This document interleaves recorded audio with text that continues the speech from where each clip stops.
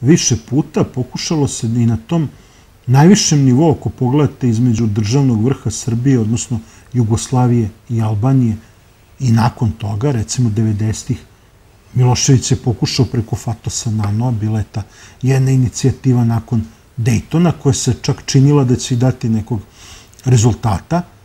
Pokušavalo se posle 2000. godine, imamo poslednje pokuše na liniji našeg predsednika i, i Rame, ali videli smo kako se završila svaka od njih. Dakle, ono što je sada sasvim izvesno, da je rešenje tog problema veoma daleko.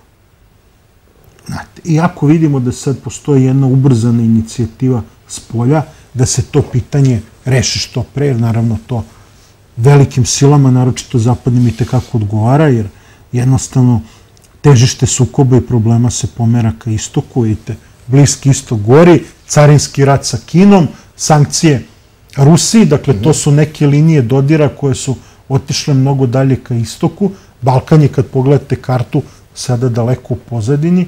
Očigledno neko želi da reši problem koji ima u pozadini, taj problem nije, nije lako rešiti.